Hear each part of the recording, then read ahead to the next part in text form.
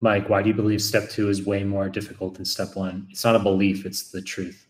So, step two vignettes are way more involved and longer than step one vignettes. Like, for example, a step one vignette for cardio might just tell you literally a one liner.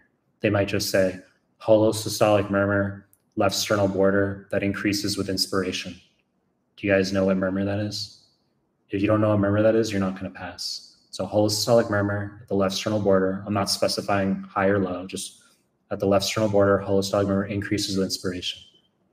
That's tricuspid regurg, okay? So right side murmurs increase with inspiration. So that's like a step one question. There's literally a one liner on the cardio. And I can I, I dropped it in the Telegram group like 10 days ago. Someone wanted to see it. A step two question might give you like a 12 line paragraph on COPD and they might tell you that there's a holosystolic murmur that increases inspiration. They like throw that into the vignette. And then the answer to that question would just be like cor pulmonale.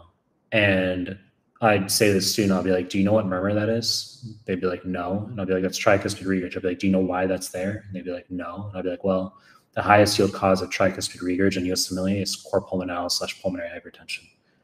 Backs up to the right heart and it stretches the tricuspid annulus, the right ventricular architectural changes. It's more involved. There's more detail. The step two questions are way harder.